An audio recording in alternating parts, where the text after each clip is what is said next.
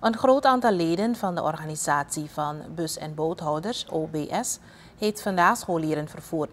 Hiermee is de staking die vrijdag begon even opgeheven.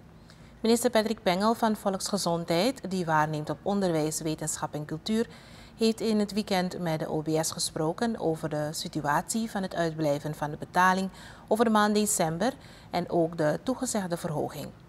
Na het gesprek raakt minister Pengel in overleg met zijn collega's van Openbare Werken, Transport en Communicatie en Financiën.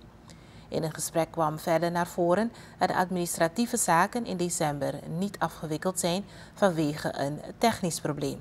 Hierdoor is de uitbetaling aan de schoolvervoerders uitgebleven. Na overleg en afstemming tussen partijen zondag heeft de OBS besloten de actie onder bepaalde voorwaarden op te heffen. Dit na de toezegging van de minister van Financiën dat betaling van de reguliere tegoeden over december vandaag zal plaatsvinden.